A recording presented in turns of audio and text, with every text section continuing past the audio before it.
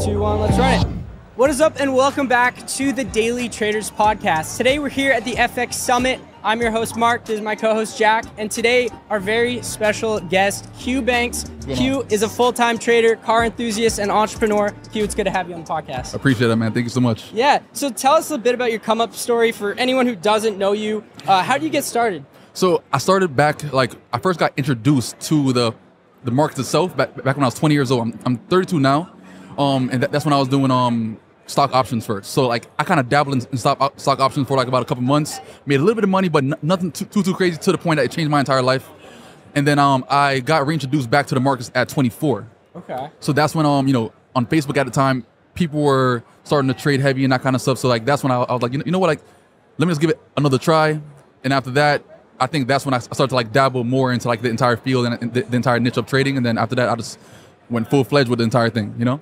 Yeah. So let's go back a little further because you you came over from Jamaica. Yes, I'm When you- when you born were in? Jamaica. Um, and I, I've been here since I, I was like around nine years old. Okay. Yeah. So then, what happened? You went to high school. You got out. No, so um, yeah, like I went to middle school and, and high school here, and then um, after that, like when everybody was graduating, they're talking about going going to college and that kind of stuff. But remember, like I had no kind of documents. I just got my citizenship about like five years ago, so wow. I couldn't go to school yet. I couldn't even, even get a job yet. Really? So technically, I had like no choice but to figure out a, a different kind of way on how to actually make money. Yeah. So um, that's when um, and you know, I started coming across things like make money online. I came across the stock options. I, I came across um, things dealing with like unlocking and jailbreaking iPhones at a time. So I was doing everything else except getting a job because I couldn't get a job. Yeah. So that's when um, I started taking the the concept of making money online a bit more seriously, and then going full fledged with that concept. Yeah. So you said you worked at last night. We had a conversation. You said you worked at Target for a little bit. Yeah, so I worked at Target. Um, I was I was a seasonal worker in electronics for um the season of 2014 through 2015, like w- the winter time. And Yeah. then I was so good because I feel like I take pride in every single thing that I do, no, no matter what it is. So Yeah. I, I I was a seasonal worker, and then I pretty much got chosen to actually stay at the job. And yeah, like I was I was at Target for like about 10 months.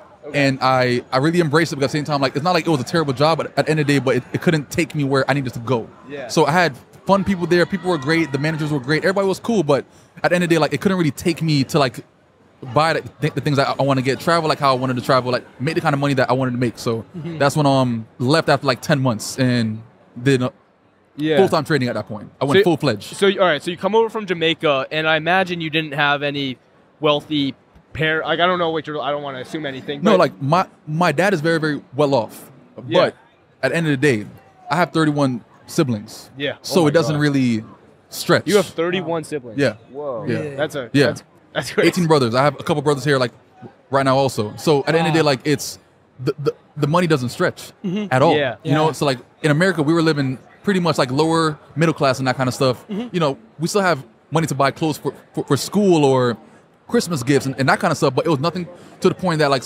somebody was gonna buy me like my first car. Yeah. I had to buy my, my first car. I had to pretty much pay for my own braces. Yeah. At the time, so like there, there wasn't extra money to pretty much give to me like how I wanted to do, regardless of his Yeah. position at the time. Like my dad was, was great. He's a, he's a businessman, but at the end of the day, like it was to the point we have a lot of siblings, so we were just good, like Yeah. just good. So what I was getting at is like you didn't really have anyone to kind of like like that was very present in your life. This you know the, the idea of like being super successful and like really making your own and like buying your own Lambo. It was kind of no, because um, I mean, coming from Jamaica, like Lambos is just a dream. Yeah. it's just Yeah. a dream. Like you're it, you're in a place that pretty much those cars are not really a thing. You know, it's it's super expensive that kind of stuff. So like when I came to America, I feel like just being around more people that pretty much have those kind of possessions, but also those kind of resources to actually get me to where I want to be, and trying to find those certain people that I could actually be around to then you know just try to feed off of them a tad bit. You know. yeah. So that's where I pretty much just took full advantage of, of being around those people that pretty much have those possessions or being around people that, that just knows more than where I currently was at the time. Yeah. So what gave you the motivation to enter your first trade? Bro, so I, I have a I have a thing, all right? The same amount of money that I lost, I could have made. Okay. Yeah. The only thing that I gotta tweak along that entire thing is mm-hmm. where did I fuck up at? Mm-hmm. At the end of the day, it's it's it's my issue. So if I, I lost a trade, I could have gained money on that trade, but what did I do wrong to not make money on, on a certain trade? So like that was like like my theory behind everything. That's why like I felt like with my um strategy and like my trading style, like it was always back testing, back testing, back testing, back testing, over and over and over and over again until it came to the point that like I understand like what I'm looking for, how I'm looking for it, and, and I go from there. But it's not like like my trading style just came up overnight. It took me almost like seven years to develop my, my, my trading style after video after video after video after video after video after 10,000 plus hours on the charts. Chart time is key. So at the end of the day, like I just took full full advantage of just like trying to perfect my like my style enough to the point that I could teach others this, the um, same thing or, or even close to that. How did you overcome like those failures and push through those years of like you know hardship? I mean, training's not easy, and most people give up. Correct. I think it's more just um understand the end goal, bro. Like no matter how long it- it's, it's gonna take, I understand like what it could make you. You know. Yeah. So at the same time, like I've had people around me that was having those 15k days, 20k days. Yeah. Like so, I had like one person back in 2015 that was doing that. So I feel like just seeing him and then being inspired by that, it made me just um be confident enough. Like no matter what I go through, ups and downs, like it was still a brighter side at the end of the day. Like I tell people all the time, like trading has minimum downside and all unlimited upside. You know, at the end of the day, like you, you, you might blow an account or two or three or four or five. Yep. But at the end of the day, the upside to trading is that you have a lifetime skill set that can make you money for the rest of your entire life, but also you can have generational knowledge to pass down to your kids and kids and kids and kids. So I feel like it's, it's a minimum downsides, unlimited upsides, and that's what kind of kept me to keep on pushing, regardless of like what happens. So wh- when did you start seeing like the first?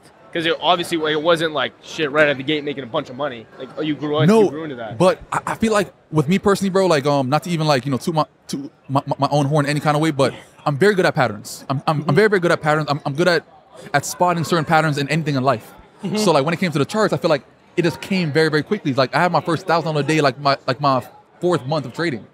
I was walking out of sociology class and I look at, at my phone and, and that trade was up in profit thousand dollars. Walking out of college class. And I'm like, you know what? I'm going all in. F that. I'm going all in. So um the seeing that, but also like even like the earlier times, me staying up while my girlfriend's inside the room and everything else. Babe, come to bed. Nope, I'm London session. so I'm making a couple hundred dollars here, a couple hundred dollars here, a couple hundred dollars here. But at the end of the day, like it was enough to make me interested in wanting to keep on going. You know? So anyone just listening, you know, someone has 500 bucks. How would you recommend they get started? Invest in education.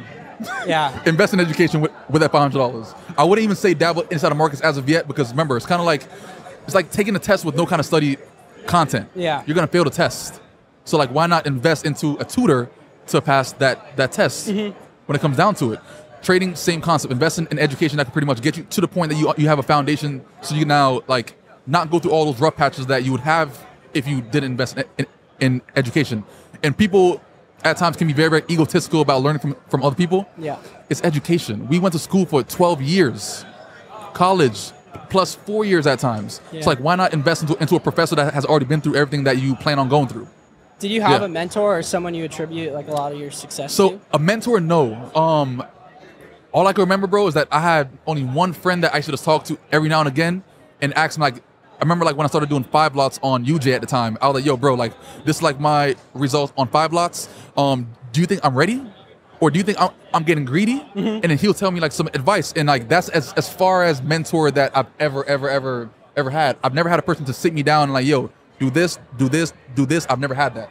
So at the end of the day, like I feel like I just took full pride in just, you know, try to learn as much as, as I can by myself. Along my journey, I met people that pretty much was good at other concepts in trading, mm-hmm. and then I got some little insights and little tips that pretty much helped me to where I am yeah, yeah. today. You know, I'm really curious. Talk more about like dropping out of college because you said you're walking out of a psychology class. You look at your phone, you're up a thousand dollars. So- and you like, was it really that simple? If you were just like, all wouldn't. right, I'm out. I wouldn't say that I dropped out. No, no, no. I'm big. I'm big on on education. I did not drop out. I was going to school for nursing. Oh wow. Complete opposite. Totally. totally. Complete opposite because I'm I'm very very into the body, very very big on anatomy and that kind of thing. So I, was- I was going to school for nursing, and um at the end of the day, like I, I did all my pre prereqs and that kind of stuff. But when it came down to it, like I didn't get into the program. So that's when I was like, yo, f this. I'm gonna focus on what I've been Yeah. focusing on and go full fledged with that because I wasted all this time striving for something that I didn't even get into. Come on. Yeah. I felt some kind of way, and I wasn't a bad student. I, I got you know a couple A's here and there, but more I was more like a B and C student. Mm-hmm. So that's what I was. I was, but it wasn't good enough for that program. So like after not getting into that program, that's when I, I went full fledged on my classes, my trading, just focus on that on that full time at that point. okay. Yeah. So you so you did finish college. Huh? So you did finish college. I didn't. I didn't. I didn't get my So you AA, got so you got all your prereqs. You were like ready, and you were just at that point. and I registered for the program, but then I didn't get in. Oh. So, but the, I I finished the prereqs, but it wasn't enough to get my AA. Okay. It was I- just enough to get into the program itself. yeah. So you don't think obviously college is necessary for learning how to trade? Anyone can learn how to trade. So a person can go to college, but at the end of the day, like you're spending four or five years, six years in college to now make fifty thousand dollars or seventy thousand dollars. When you can even put that same amount of time into studying something that can actually benefit you for the rest of your entire life. Yeah. Because at one point I was about to even join the military. Oh, really? Um, but then you have the, the, the four year contracts. So then I was like, yo, if I go to the military for four years and I stay outside for four years, can I accomplish more outside than I would inside? Then I just did just that. I had friends going to the military, but I, I was like, you know what? Let me just focus on myself, put like my full effort and full time into like what I'm doing, and those four years, you know, I got far enough to pretty much you know make a sustaining living off trading itself. Wow. I just want to take a second to thank this episode's sponsor, thedailytraders.com. Now, if you're interested in learning how to trade in the stock market, I just opened enrollment for my mentorship group where I'm giving you access to see my exact trades in the stock market. So I'll post my entries and I'll post my exits. I'm either making or losing money with full transparency. Enrollment is now open, so if you click the first link in the description below, hit the apply now button, fill out that short application, and if qualified, someone from my team will be reaching out. All right, we hope you guys are enjoying this episode. Let's continue. You want to tell us a bit about your trading style and strategies? Yeah, so like I, I'm mainly based on technical analysis, like about 90% technical analysis. Yeah. Um, I, I go very, very big on confluence trading, so which means that I, I look for multiple confirmations inside the market. I use all time frames for some kind of reason in some kind of way. I, I trade off certain time frames as far as like my overall direction of bias, but um like entries based on a certain time frame as well. Um, I focus more on one to three type of ratios for my entries and, and exits and my risk to rewards. Um, and yeah, man, like um, I'm I'm not a a scalper, intraday trader, or a swing trader. I, I, I consider myself very very dynamic. Okay. Because my entries are based on a scalping type of style, which means that I see a minimum drawdown at times in certain entries, mm-hmm. and at that point, I, I try to focus on more maintaining the trade as long as possible. So once I can maintain a trade as long as possible, that's when it gets into like a swing trading type of of, of area. So if I maintain a trade for let's say 20, 30 pips, and then after that I, I get up into like the 60 pip range, 70 mm-hmm. pip range, technically that's a swing type trade. Yeah. So now it's based off of my my rewards are now based on the H4 time frame or even the H1 time frame. So like I'm I'm slowly scaling like my, my trades up to a scalping scalping type of trade setup, all the way until the point that I'm focusing on the TPs off of the H1 or H4 time, time frames instead. Wow. So like I try to maintain as long as possible until I get to the point that I can now focus on the higher time frame TPs.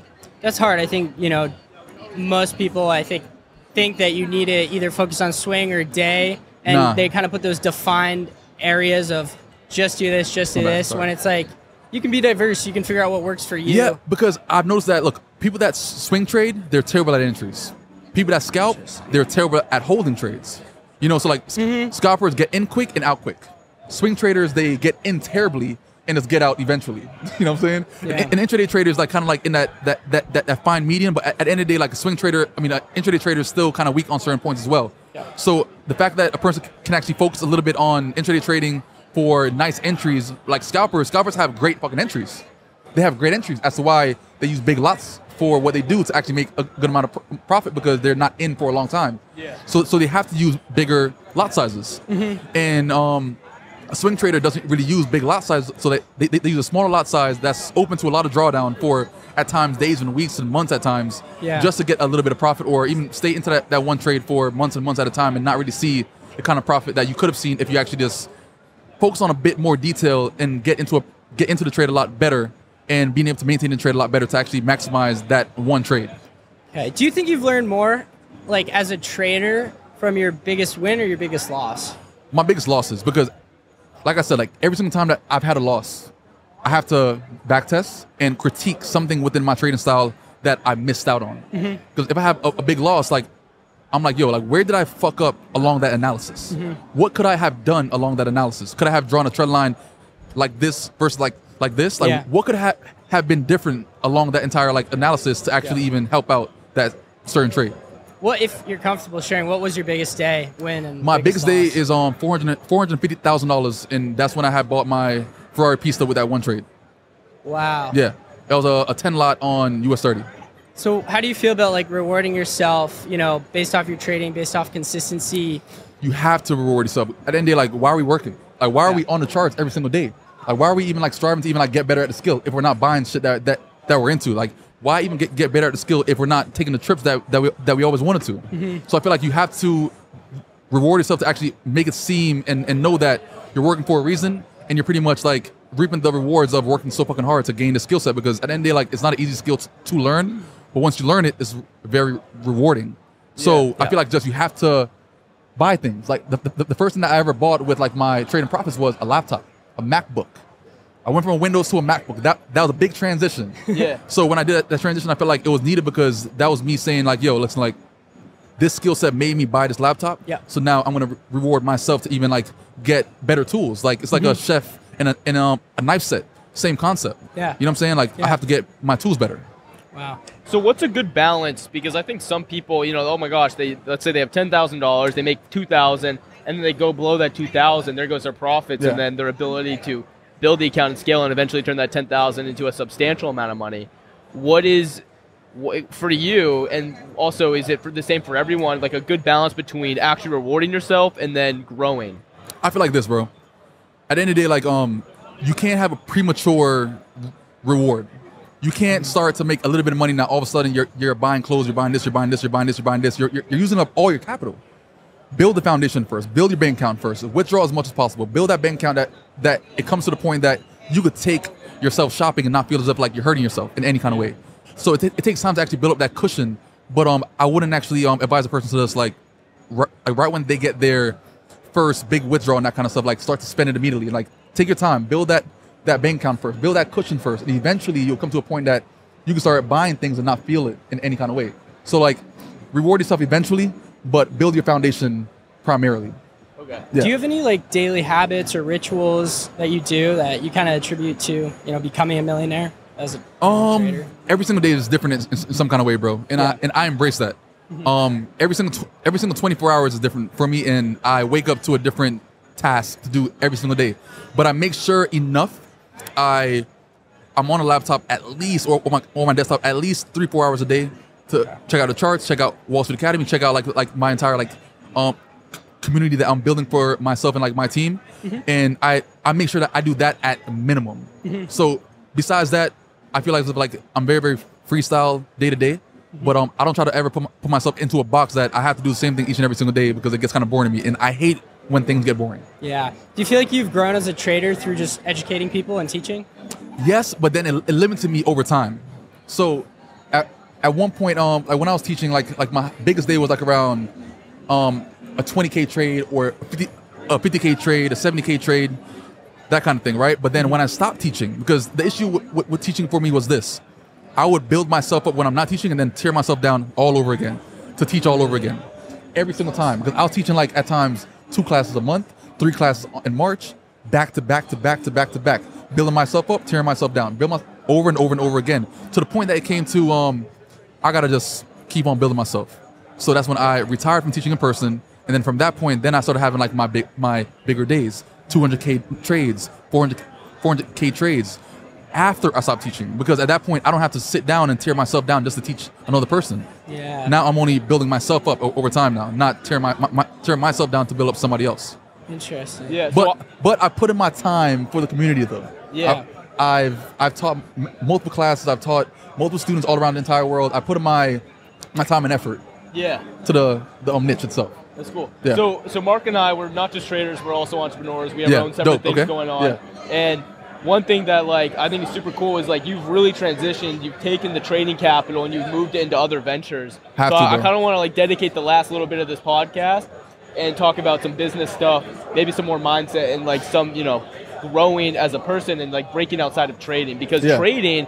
And one of my mentors told me this: is trading isn't a high level. Trading by itself, it's not a high leverage task. You, if you're not showing up, you're not making money. So I, I was just talking about this as well. So I was like saying, um, whenever I'm on the charts, I'm stressed out. That's what it is. Like I'm, I'm putting myself in a stressful situation. Yeah. And I, and I'm aware of that, which means that if I'm trading every single day, that that means that I'm doing what? I'm putting myself in a stressful situation every single day. Yeah. So it comes to a point that you have to pretty much kind of like step back and like venture off into other fields. Still trade like when you need to, which means that like you're open with putting yourself in that stressful situation, but not every single day though. At that point, it gets kind of stressful. Like it- Yeah. it, gets like overwhelming at that point. Not healthy. So um, venturing off into other fields, like we, we have top tier trader. I have like my compound that I'm building. I have other um ventures like like my car, car collection that I'm building. Like all those things, I feel like as if like it kind of soothes me a little bit because I'm not focusing on just making the money. I'm making the money, but also enjoying the money, but also reinvesting the, the money in some kind of way as well. Yeah, I was gonna ask like, what are your long-term goals? Not just trading wise, but I'd like to hear that. But you know, it, do you see yourself like ever not trading, or is this something you're gonna do for the rest of your life? Rest of my life, bro. Rest of your life. I'm not breaking any kind of bones trading. Yeah. I'm good. You know. So I feel as if like the fact that it's not like a, a hard labor task. Mm-hmm. Why not? You love it. and You're passionate about it. bro. If I wasn't passionate about it, then I, I wouldn't be here till this day. So you think this way. are, what are like three personality traits that pair well with becoming like consistently profitable as a trader? Taking accountability, T- taking accountability, um, dropping the ego, Yeah. but also being a leader as well. Being a That's leader. probably like yeah. Why being a So, leader? That's that's Because- you say that because like trading is such an individual, you know, task, job, sport, or however you want to put it, hustle. But how like how are you like, being a leader in trading when it's, such an individual type of because I, hustle? I feel as if like if if you learn the task or the um, skill set of trading, it's like also your respons- responsibility as well to help educate other people as well. Even like family in any kind of way, like be the, the first person in your family to pretty much introduce trading. Be, be the first person the first person in your circle of friends to introduce trading. Because at the end of the day, like somebody got to do it, and somebody has to actually better the benefit of like you know humanity in, in, some kind of way as well. So I feel as if like being the first person and taking that, that leadership role into um, you know, taking that time to learn a skill set, I feel as if like you're also responsible enough to also help the other generation become, you know, knowledgeable of that skill set as well. Yeah. So like being a leader in that aspect as well. Okay. okay. What's a long-term trading goal? Oh, make as much money as I can, bro. All right. you know what I'm saying? I love it. No, but um, just more um, you know, just maintaining because I don't feel as if like I have to hit a home run every single trade anymore. I can maintain off um, just even. I don't go off percentage, but at the same time, like if I'm trading a hundred thousand dollar account, I can make five k day, ten k day, and I'm perfectly fine.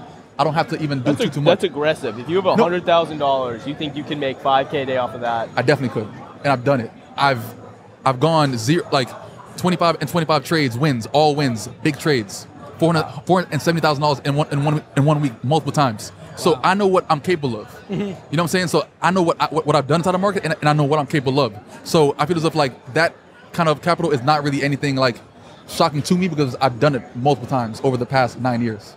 You know what I'm saying? Yeah, yeah, yeah. So I don't have to hit a home run, hit those six figure trades and that kind of stuff. It's not really needed. That's where the stress comes in. Yeah. So the fact that um it's not really needed, like I can maintain off of just uh, a lower amount and still be great okay. it still adds up over time. So, you know, you clearly you have the confidence to say I can take hundred thousand dollars and make a certain like a small percentage every single day. How did you build up that confidence? So because you know, it's it's it's one thing to be confident, but it's also knowing y- your ability. yeah, You know what I'm saying? It's, it's two different things. Fa- false confidence goes nowhere. The fact that um I'm saying like what I could do is because I've done it. I'm not confident about anything that I haven't done. You know what I'm saying? So so so the fact that um So how do you get there? I feel as if like yo like I'm not gonna say that you got to be born with it, bro, but you got it got to be in you. You have to be a person that pretty much is confident about any any single thing that they're doing. Like I think I put in enough chart time, enough e- enough hours, enough um networking events, like enough losses, enough wins to say that like yo listen like I understand what I'm doing enough to keep on going. and have that confidence. Yeah. What about someone, maybe someone listening, is just scared to enter a trade? Like, how do you overcome that? a person is, is scared to enter a trade because they're, they're probably not confident about their education. They're probably not um, confident about you know their knowledge in that certain skill set yet. Once a person is knowledgeable about a certain skill set, then why be scared? Like the Mamba mentality, like what Kobe has. He took a, a thousand three pointers. A game is now just practice. Yeah. Why be scared about something that I, I'm- I'm doing every single day, day in and day out? It's just a part of the, the process. Then it's part of the process. you know? Any last kind of motivational tips or advice? Um, like I always say, believe you're the best before anybody else does. Yeah, I like that.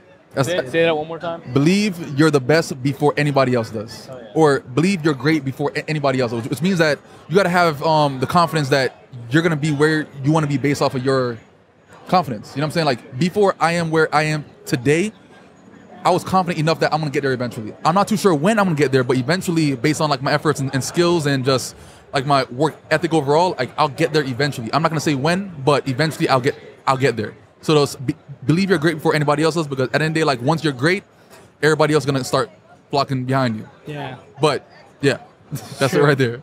All right, Cue. Thank you so definitely, much. definitely appreciate you. Appreciate you coming Definitely, on. definitely as well. Thank you as well. Where can our Appreciate you. audience find you, Cue? Um, mainly um on on Instagram and Twitter, CueBank, C U E B A N K S. And yeah, All right, only sweet. account. All right, we hope you Thanks. guys enjoyed this episode. See you in the peace next out, one. Peace out. Peace. Definitely. All right, cute. Seriously, that's awesome.